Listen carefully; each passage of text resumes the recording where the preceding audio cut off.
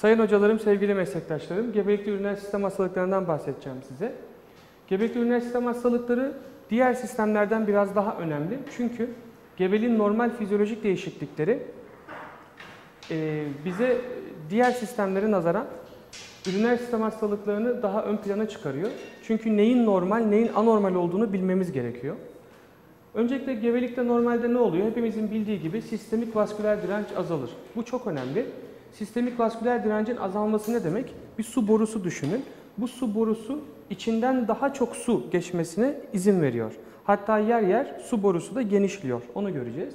O zaman içinden daha çok su geçerse veyahut da bir damar veya kan diye düşünelim. Daha çok kan geçerse ne olur? Kardiyak output artar. Zaten bir de kalbin e, atım e, hızı da arttığı için total etki kardiyak output artar. Ortalama tansiyon, ortalama e, kan basıncı genellikle değişmez kabul edilir ama dakikada 10-15 atımlık minimal bir değişiklik görürüz. Kardiyak output artar söyledik, vasküler direnç azalır söyledik, kan hacminde genişleme olur söyledik, 1-2 litre daha fazla kan hacmi artar. Peki üriner sistemde renal fonksiyonlar ne olur? Glomerular filtrasyon hızı artar, kronik respiratuar alkaloz olur. Bu önemli. Peki bu niçin olur? Progesteronun santral etkisiyle daha fazla e, hiperventilasyon olur. O zaman daha çok soluk alıp verirsek ne olur? Karbondioksiti daha fazla kaybederiz. O zaman vücut asit kaybettiği için vücut bir respiratuar sebepten alkoloza doğru girer. Hiponatremi görülür. Bu da hem santral hem e, kan, bası, kan volümündeki ve su e, dengesindeki değişikliklerden dolayı ama hiponatremiyi çok hissetmeyiz. Çünkü sodyum e, en kolay değişen ama en önemli elektrolit olduğu için en fazla kontrol altında tutulan elektrolittir. Vazopresin antidiüretik hormon metabolizmasında artış olur ve poliüri olur. Bu da çok önemli. Çünkü ADH neydi? Vazopresindi. Vazopresini yıkan ne? Vazopresinaz. Vazopresinaz metabolizması arttığı için antidiüretik hormon artar ve böylelikle poliüri olur. Bunu da konuşacağız. Peki, renal plazma akımı söyledik. Bu niçin artar? Öncelikle plazenta ve desideradan relaksin salgılanır. Bu önemli. Bu hani e, TUS bilgisi değil, bizim kadın doğum uzmanı olarak da bilmemiz gereken madde. Relaksin işte vücuttaki her şeyin rahatlattığı gibi aynı zamanda da bazı metaloproteinazları aktive eder ve böylelikle nitrit, nitrit oksit azal, artar. Yani ana madde relaksin ama sonucu NO belirliyor. Bunun artışıyla konstrüksiyon azalır, glomerular filtrasyon hızı artar ve renal kan akımı, perfüzyon hızı oranı artar. Peki, normal bir gebelikte renal değişiklikler olur. Bunlar ne zamana kadar sürer? Ortalama, hani hep 40'ı çıkar diyoruz ya, işte aklınızda da öyle kalsın. Ee, biraz daha azı, 6 hafta civarı, 4-8 hafta ara, civarında da eski fizyolojik sürecine geri döner. Böbrek boyutları ne olur? Ortalama 1 santim büyür. Üreteral dilatasyon olur. Bu çok önemli. Hidronefroz artık bizde bir standart haline gelir. Yani sıklıkla hidronefrozu görürüz. Bazı e, hocalarımız sürekli gebelerin böyle sağ tarafına da bir de bir böbreğe bakar değil mi? Ama genelde sola bakmayız. E, sola da bakılır da hani sağa daha çok bakılır çünkü sağda daha belirgin hidronefroz olur. Hastada bir kıvahla herhangi bir şeyle gelirse bir üriner muayene yaptığımız zaman veya üriner ultrasona gönderdiğimiz zaman hidronefroz gelir genellikle grade 1. Bunları çok önemsemeyiz. Ne deriz? Gebeliğin normal fizyolojik değişikliğidir bu deriz. Hidronefroza peki bizi ne götürüyor? Birazdan onu e, konuşacağız. Ancak ne ile karışır? Obstrüktif üropati ile karışabilir. İşte tas, taş, staz e, gibi şeyler olabilir. Acaba taş mı var diye düşünürüz. Peki bunun doğal sonucu nedir? Renal enfeksiyonlara yatkınlık olur. Renal enfeksiyon normal bir kadında e, önemlidir tabii ki ama çok da hayati değildir. Ama gebede biraz daha hayati olabiliyor. Özellikle hangi e, durum? Piyelonefritten korkuyoruz değil mi? Glomerular filtrasyon hızı ve renal plazma akımının yarı yarıya arttığını söyledik. Bir önemli bilgi daha. Ben size daha çok pratik bilgiler vermeye çalışacağım. Serum kreatinin gebelikte normali azalır arkadaşlar. O yüzden normalde hani biz biri yerine 0.8'i hedeflemeliyiz.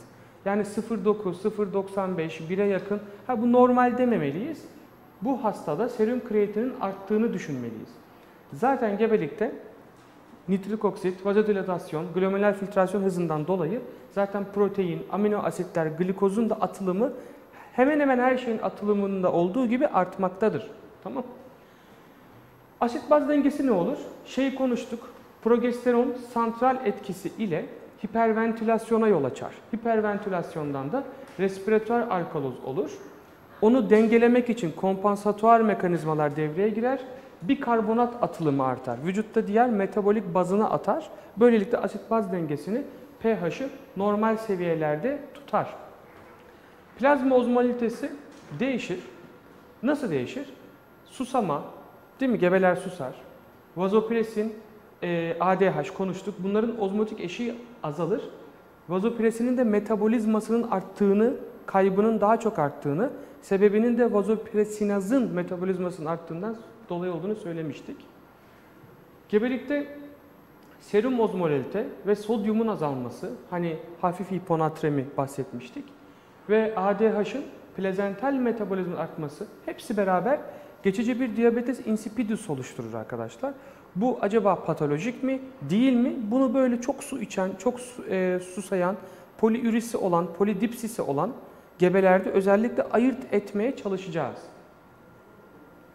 Fizyolojik hidronefrozun çok sık olduğunu söyledik. Ne kadar sık? Üçüncü trimestre geldiğimizde hemen hemen her iki kadından, her iki gebeden biri ya da hepsi.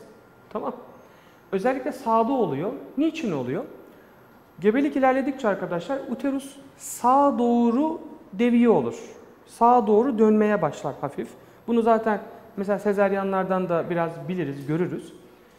Ve solda e, hatırlarsanız e, her zaman mesela böyle e, laparoskopik histerektomilere başlarken solda böyle sigmoidi düşürürüz değil mi? Solda ne vardır? Sigmoid kolon vardır.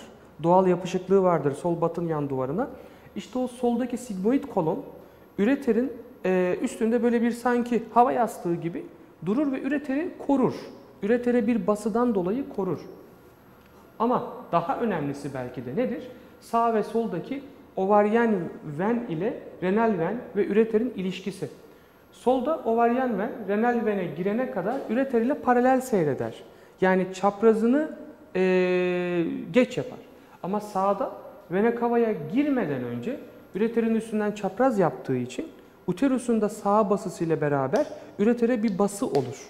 Bu bası da ne olur? Boruyu sıkarsanız gerisi şişer değil mi? O yüzden sağdaki hidronefroz daha sık gözükür. Veyahut da grade'i bir tık daha fazla olur. Bunun haricinde tabii ki gebeliğin fizyolojik değişikliklerine bağlı üreterin kas tabakası. Bunun adı bazen sorulur. Waldeyer kılıfı. Bu hipertrofiye olur. Hipertrofi olursa ne olur? Üreter genişler. Üreter genişlerse hani ne dedik? Su borusu genişlerse ne olur? Ee, biraz yavaş akar değil mi? Suyu arttırmazsanız. Ama kalpte bu değişik. Normalde kardiyak sistemde boru da büyüyor, içinden geçen sıvı miktarı da, kan da artıyor. Ama üreterde üreter büyüyor sadece. Bunun üzerine belki yine daha da önemlisi progesteron. Nasıl santral etkili hiperventilasyon yapıyorsa üreterinde peristaltizmini azaltır. Üreteri bir sakinleştirir. Progesteron üreteri sakinleştirir. Tonusunu azaltır. Kasılma basıncını azaltır. Yani bir doğal staz meydana getirir. Ne dedik? Genişler üriner sistem. Toplayıcı sistem kapasitesi yaklaşık 200-300 cc artar. Bu hani sınavlara yönelik olan kişiler için önemli. Diğer klinisyenler için daha az önemli. Sonuçta ne olduğunu bilmemiz önemli. Üriner staz olur. Bir yerde staz varsa ne olur? Taş formasyonuna, taş oluşumuna yatkınlık artar. Aynı anda ne dedik? Proteinler, amino asit, glikozlar gibi aynı anda elektrolitlerin atılımı da artıyor. Sodyum, kalsiyum, ürik asit. Bakın hep taşların ham maddesi diye düşünün. O zaman bunların atılımı ne kadar çok arttıkça atılırken alt sistemlerde de taş formasyonuna yatkınlık artar. Ama baktığımız zaman literatür bilgisine gebe ve gebe olmayan popülasyonda taş yani nefrolitiyazis insidansı hemen hemen aynıdır arkadaşlar. Ama biz biliriz ki yatkınlık arttı ama insidans aynı. Sebebi nedir? Bazı diğer faktörler var. Vücut kendi dengesini koruyor. Bunlar da taş oluşumunu azaltan faktörler. İşte nedir? Aynı zamanda kalsiyum atılıyor ama magnezyum da atılıyor. Nefrokalsin de atılıyor. Bunlar da taşı azaltıyor. Sitrat, magnezyum. İdrarın alkalitesi arttı. Bunlar hep taşı azaltan sebepler. Ancak sonuç olarak taş insidansı hemen hemen aynı kalsa da yatkınlık daha fazla bunu biliyoruz. Neyi biliyoruz? Tedavi biraz daha invazif gebelerde. Üriner stas, kalsiyum atılımı arttı. O yüzden gebelerde, gebe olmayanlara göre stent ve nefrostomi, tüp takılması gibi işlemleri daha sık görüyoruz. E bir de tabi bazı ilaçları, bazı medikasyonları yapamıyorsunuz gebede. Onun da etkisi var tabii ki. Ürolitiyazis konuşalım.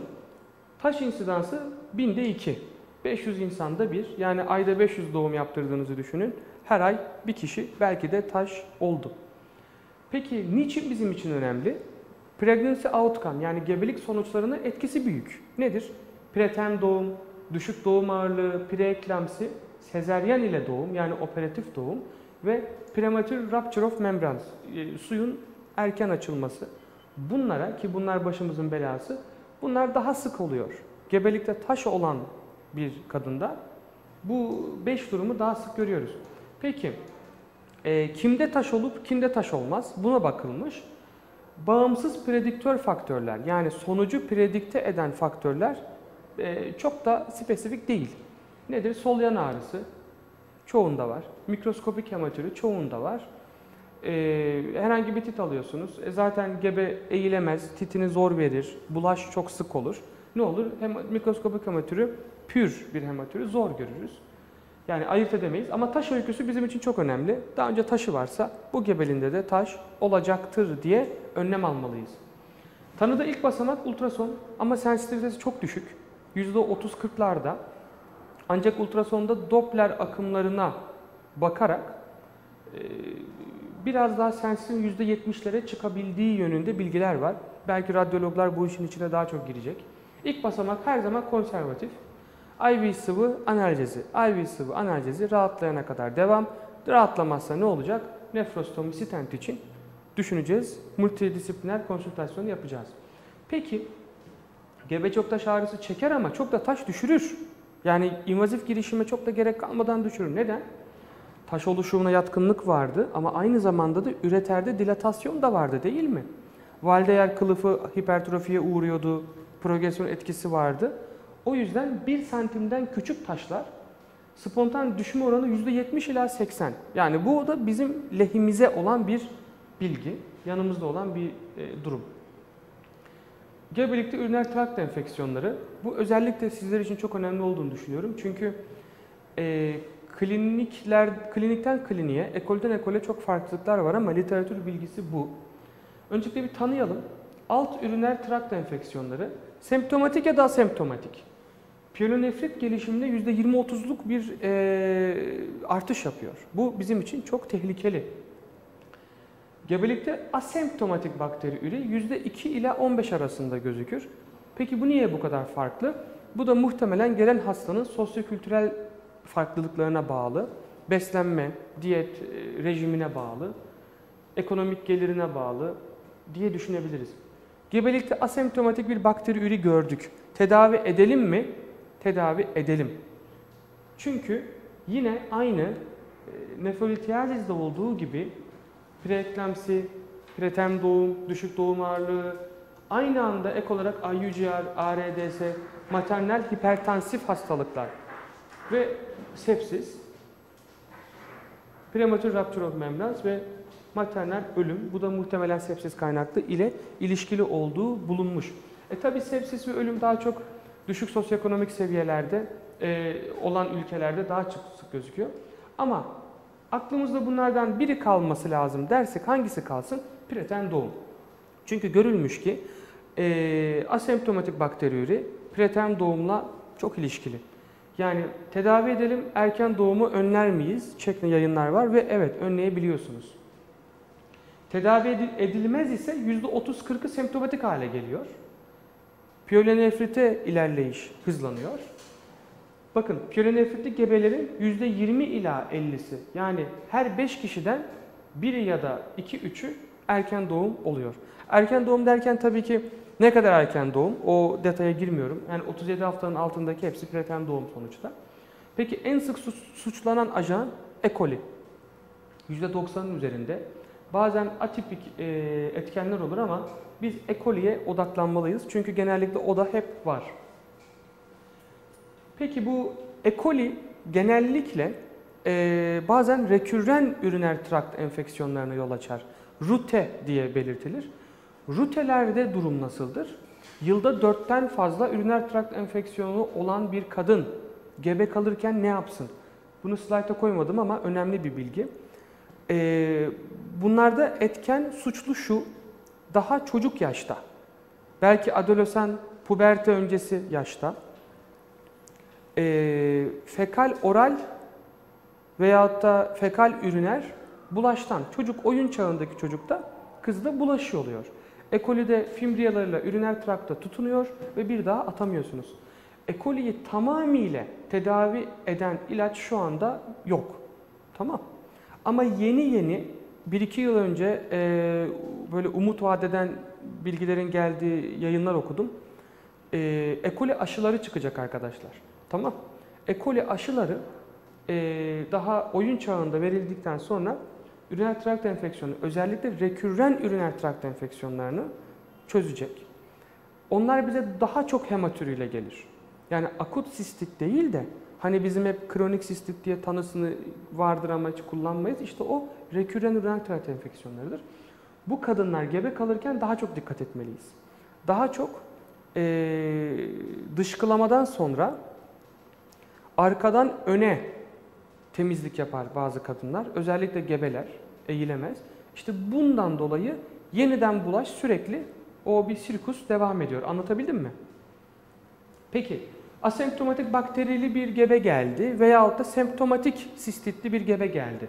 Ne kullanalım arkadaşlar? Burada en önemli ajanımız aslında nitrofurantoin. PS adıyla pioleseptil diye bildiğimiz tamam. Ee, sonra amoksisilin var. Amoksisilin kleolinat var. Sefalexin, sefalosporin grubu ve fosfomisin. Ee, o da çok bildiğimiz bir ilaç ve trimetofrim sulfamethoxazol. Eskiden baktrim diye bilinirdi herkesin bildiği. Şimdi ortalama hemen hemen hepsi 5 ila 7 gün. Nitrofurantoin'in 50 yüzlük formları var. Yüzlüğü e, tercih edilir 2 çarpı 1. Amoksisilin 500-875 hemen 1 gramdan değil. Yine klonik asit de öyle. Cefalexin de 500'lük genellikle. Fosfomisin zaten bir şasette 3 gram vardır. Baktrim 860 e, değişir. Ancak burada bilmemiz gereken bir şey var. Nitrofurantoin ve trimetorülsülümetekazolü birinci trimester ve literatür termde de demiş ama daha çok birinci trimesterda mümkün ise kullanmamalıyız. Ama kültür aldınız hemen hemen hepsi şu aradakileri dirençli çıkar arkadaşlar. O zaman mecburen kullanmanız gerektiğinde kullanabilir misiniz? Evet, kullanabilirsiniz. Yani kültürde başka duyarlı iyi bir ajan yoksa birinci trimesterda da termde de verebilirsiniz. Ama özellikle birinci e, trimesterden daha çok şey yapıyoruz. Peki bir de e, burada fosfomisinin özel bir şeyi daha var. Tamam. Ve e, nitrofronteinin böbrekte etkin sistemik dozuna çok ulaşmıyor. Ne kadar verirseniz verin. Daha fazla verirseniz işte ototoksisite, nefrotoksisite yapabilir. O yüzden piyelonefrit olduğunda göreceksiniz ki e, piyelonefritte yine nitrofrontoin ve fosfomisini çok kullanmıyoruz. Çünkü çok yüksek doz lazım böbrekte etkin sistemik doza ulaşmak için. Yani mild moderate, hafif orta enfeksiyonlar için. Şiddetli enfeksiyonlar için IV parenteral daha ikili üçlü kombinasyonları düşüneceğiz. Bahsettiğimiz şeyler trimetofrim birinci trimesterde folat metabolizmasını bozduğu için o da ve abortus e, düşük e, insidansını arttırdığı için tercih etmeyelim. Makrolitler hep hani hepimizin gebelikte güvenli olarak bildiği makrolitler de düşük riskini bir e, tık arttırıyor ve son yayınlarda serebral palsi ve epilepsi ile ilişkisi soru işareti olduğu için ilk trimesterde gene kullanmayalım. Nitrofurantoin ve sülfanomitler e, yani detay bir bilgi ama glikoz 6 e, default D, e, DH eksikliğinde sarılık, hemolitik anemi yaratabildiğinden dolayı dolaylı olarak kontraindikedir. Söylemiştik fosfomisin böbrekte terapötike ulaşamaz. O yüzden piyolenefis şüphesinde nitrofurantoinle beraber yani ikisi de kullanılmamalı veyahut da ter, son tercih olabilir. Peki gebeleri asemptomatik bakteri ürü için tarayalım mı? Evet. Gebelik boyunca en az bir kere tarayalım. Ama biz zaten ayda bir işte tit alıyoruz değil mi? En uygun tarama haftası 12 ile 16 hafta. Orta akım idrar kültürü alalım. Bizim için hangi kültür anlamlı? 10 üzeri 5'ten yüksek ünite olacak. Bu da hep karıştırılır. Genellikle 10 bin oldu mu A pozitif denir. Hayır. 10 bin eşittir 10 üzeri 4. Tamam. 10 üzeri 5 olacak. 100 bin. Bu da çok böyle e, karıştırılan bir nokta. Unutmayalım. Peki akut sisteti bize düşündüren şey ne? Yeni başlangıçlı bir disüri olması. Üriner frekans yani e, işeme sıklığında bir artış olması ve urgency. E, işte oturuyorum, çişimi daha yeni yaptım, bir anda tuvalete çıkma isteği hissediyorum. Tabi gebelikte olur ama bundaki artış bizi uyandırmalı. Tedaviyi verdik, kontrol idrar kültürü muhakkak alıyoruz. Peki piyolenefriti bize düşündüren şey ne? E tabii ki ateş, bulantı, kusma ve kostavertebral açı hassasiyeti. Yine idrar kültürü muhakkak alıyoruz ve yine kontrol idrar kültürü yine alıyoruz. Akut piyolenefritte interne ediyoruz hastayı, yatırıyoruz, parenteral antibiyotikler veriyoruz. Ne verebiliriz? Seftriaksiyon 1 gram günde 1. İşte astrionam. Astrionam nedir? Monobaktam türevidir. Nispeten daha e, güvenlidir gebede. Ama dirençli olgular çoktur artık günümüzde. O da 1 gram 3 çarpı 1 veriyoruz. Ampisilin gentamisin daha tercih ettiğimiz, o da dirençlerden ötürü, bu aralar tercihimiz daha çok, 1-2 gram veriyoruz. E, ampisilini 4 çarpı 1. Gentamisin de 1,5 mg bölü kilogram bölü 8 saat.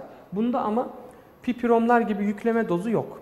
Tamam unutmayın hani Gente'de bir yükleme dozu yapıyoruz ya PID'lerde, apselerde bunda o yok. Şiddetli vakalarda e tabii ki piperasilinler, tazobaktam, karbapenemlere kadar çıkılabilir. Astrionamın bu arada özelliği e, pseudomonası da kapsar. Gebelikte diğer bir konumuz akut böbrek hasarı.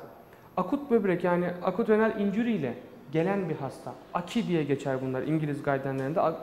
Acute kidney injury önemlidir. Çünkü e, hayati tehlike taşır.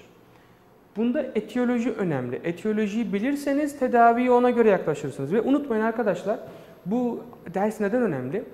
E, bunları hiçbir zaman diğer branşlar genellikle çok dokunmayacaklar ve yine kadın doğum uzmanının bilmesi gerektiğini düşünecekler ve yine bize kalacak. Yani bir dahili branşmış gibi yönetmemiz lazım, yönetmeyi bilmemiz lazım. 20 haftadan önce genellikle sebepler prerenal. Nedir? Hiperemezis gravidarum, gerçek hiperemezis gravidarum. Bizim çok sık yatırdıklarımız gibi NVP yani nausea, vomiting, pregnancy değil. Hiperemezis gravidarum ve akut tübüler nekroz. Akut tübüler nekrozu nerelerde görürsünüz daha çok? Septik abortlarda görürsünüz. Mesela işte kürtajın yasak olduğu ülkelerde veyahut da e, hoş karşılanmadığı bölgelerde, merdiven altı yerlerde yapılan e, işlemlerde non-steril septik abort olur. Akut tübüler nekroza gider. Akut tübüler nekrozda akut böbrek hasarı ile karşınıza gelebilir. 20 hafta üstünde en önemli şeyimiz bence gebelikteki hipertansif hastalıklar. Nedir? Preeklamsi, HELP değil mi?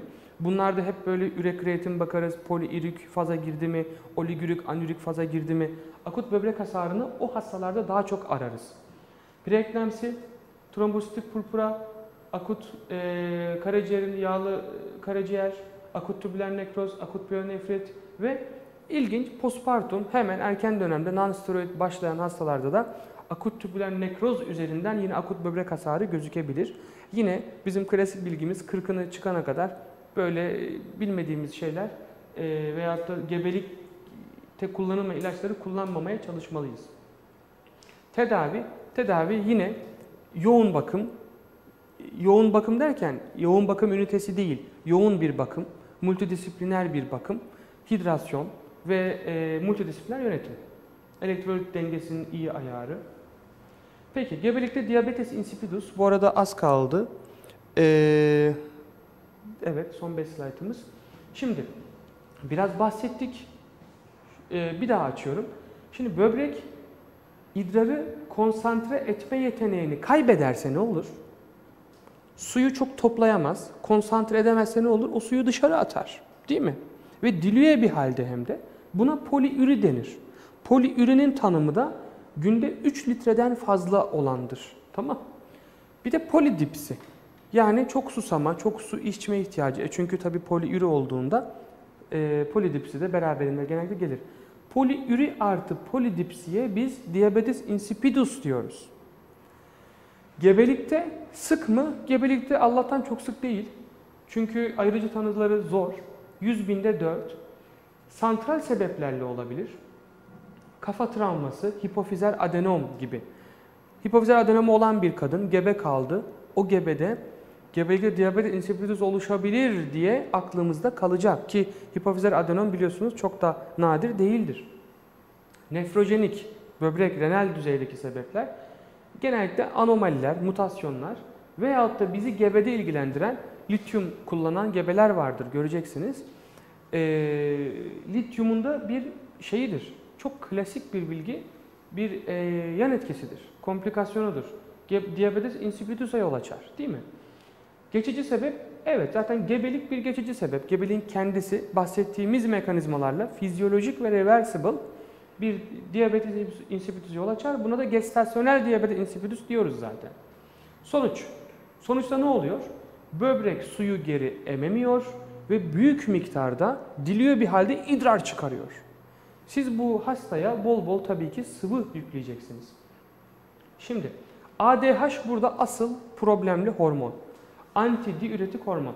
Antidiüretik hormonun görevi ne? Adı üzerinde antidiüretik. Diürezin engelleyen hormon. Suyu geri emdiren hormon ve idrarı çıkışını azaltan hormon değil mi? Şimdi bu da görevini nasıl yapıyor? Klasik bilgidir. Uluslararası sınavlarda da çok sık çıkar. Bizim TUS'ta da çok çıkardı.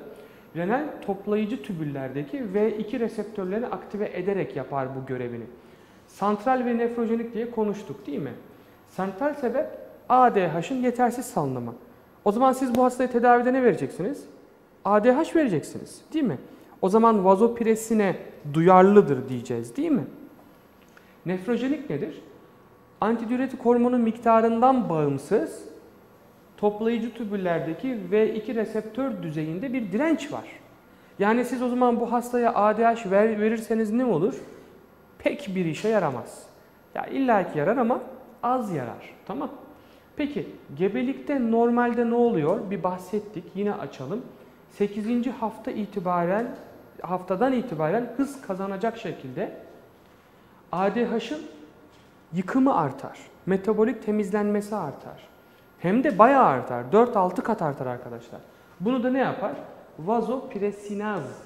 Diğer adıyla oksitosinaz enzimindeki artıştan dolayı olur. Vazopresinaz artar. ADH azalır. O zaman fizyolojik bir diabetes insipidus meydana gelir.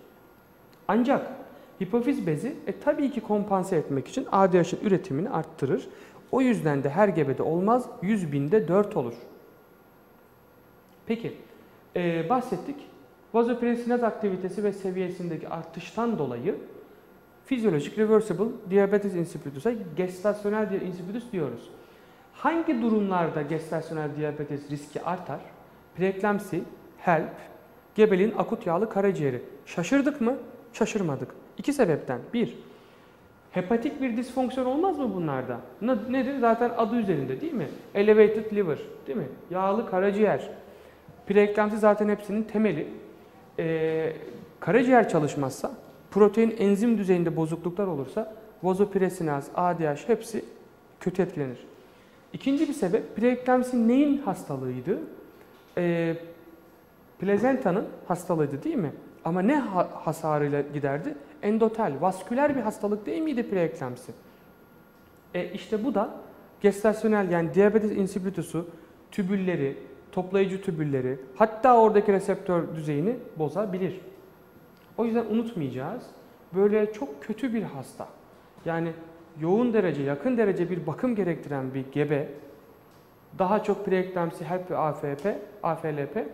Bunlar da aklımızın bir köşesinde bunların poliürisinin belki de akut e, renal hasardan ziyade diabetes insipidus da olabileceğini tutacağız. Bunları konuştuk. E, santral diabetes, nefrojenik, nefrojenik diabetes insipidus ve geçici yani gestasyonel. Tamam. Neler olabilir santral etkili? ADH'ın miktarı azalacak. İşte şihan olabilir, bizi ilgilendiren. İşte baş travması, hipofiz adenomu önemli. Otoimmün bir hastalık. Lupuslu gebeler yoğundur, örnek veriyorum. Veyahut da e, gibi. Neye sensitif? ADH'e sensitif. O zaman neye cevap verir? Vazopresine cevap verir. Ama nefrojenik, reseptör düzeyinde problem var. Renal bir rezistans var. Herhangi bir trimesterde olabilir, rekürren de olabilir. Ve e, o yüzden ADH'a dirençli olabilir ve vazopresine. Onlarda başka ilaçlar düşünüyoruz. Hidroklorotiazid, amiloid gibi diüretik hormonları kullanıyoruz. Tabii ki multidisipliner. Gebeliğin geçici diyabetes insipidusunda e, şiddetli olgularda yine e, vazopresin verebilirsiniz. Ama ADH'a yine dirençli. E çünkü zaten verdiğiniz ADH yıkılıyor. Gebelik ve kronik böbrek hastalık. Yani kronik böbrek hastalığı olan bir gebe geldi ve takip edeceksiniz. Şimdi literatür çok açık, net. Diyor ki diyaliz ihtiyacı olmayan kronik böbrek hastası olan gebelere mümkünse gebe kaldırma diyor. Guideline'ın yarısından fazlası bunlara uygulanabilecek kontrasepsiyon yöntemlerinden bahseder. Yani biz ola ki gebe kalan, kalan hastalar için konuşuyoruz. Tamam Bu hastalarda neleri görürüz? Hemen hemen her şeyi görürüz. Preeklemsi riski artar, gestasyonel hipertansif hastalıkların riski artar, HELP riski artar, erken doğum riski artar, SGA, düşük doğum ağırlığı, sezeryan ve abort riskleri hepsi artar. Ancak e, RICO Guideline'ında direkt bir major risk faktörüdür. Kronik böbrek hastalığı olan gebeye gebeliğin 12. haftasından doğuma kadar 12. haftadan doğuma kadar 150 mg aspirin veriyoruz. Bu da yeni bilgi aslında. Ee, geçen yıl guideline'de değiştirdi. Ondan önce 75 mg'dı RICO guideline'ında. Ee, NICE'ın Nice'nin guideline'ında 75 veya 150 idi. Artık ikisinde de net 150 oldu arkadaşlar. Tek böbrekli, diyalize giden veyahut da kronik böbrek hastalığı olan bir gebe geldi. Yakaladığınız anda ama mümkünse 12. haftadan itibaren doğuma kadar 150 mg aspirin veriyoruz. Peki 150 mg aspirin nasıl verelim? Bir tane iç, bir taneyi kır, ver mi yapalım? Hayır. Bir tane içiriyoruz, bir tane kırıyor, kırdığını atıyor. Tamam. Her kullanımda bir tanesini yarıya kırıp öbürünü atacak. Peki bizi ilgilendiren şey ne? Çoğu ilacın dozunun ayarı gerekecek bu hastalarda arkadaşlar. Örnek veriyorum bu hasta preeklemsif oldu. E şaşırdık mı? Hayır. Preeklemsif pekala olabilir. Bunda vereceğimiz magnezyumun dozu. Örnek veriyorum. Veyahut da e, bu hastalara bir piyanefrit oldu. Antibiyotik vereceksiniz. Yine onun dozunu ayarlamanız gerekecek. Yani kronik böbrek hastalığının bizi genellikle obstetrisyeni ilgilendiren iki temel konusu var. Bu hastaların gestasyonel hipertansif hastalara, hastalıklara çok yatkın olduğunu ve RICO guideline'larında da major risk faktörü olduğunu, tek başına bu olan hastalarda da gebeliğin 12. haftasından doğuma kadar 150 mg aspirin kullanması gerektiği birinci. İkinci de vereceğimiz hemen hemen her ilacın, özellikle böbrekten itrah olan ilaçların, karaciğer bize çok problem değil, dozunun ayarlanması muhakkak ya biz ya da multidisipliner olarak ayarlanması gerekecek. Gebelikteki vizit sayısı artmalı der guideline. Ama bu artmış hali bizim zaten Türkiye'deki baktığımız haline denk geliyor. Ayda bir. Peki nasıl doğurtalım? Vajinal doğum sezeryen? Hayır. Obstetrik endikasyonlara bağlı gene. Vajinal doğumun bir problemi yok. Çok teşekkür ediyorum dinlediğiniz ve sabrınız için.